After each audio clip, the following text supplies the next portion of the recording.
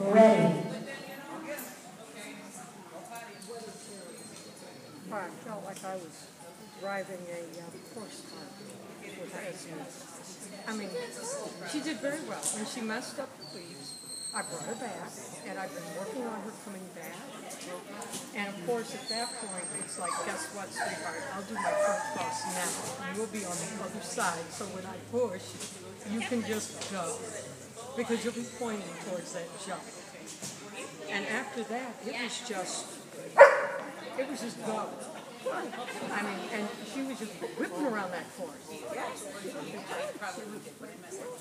Oh yeah. Well, I just considering I ran the first course in 43 seconds, I ran the second one in 30 seconds. Nice.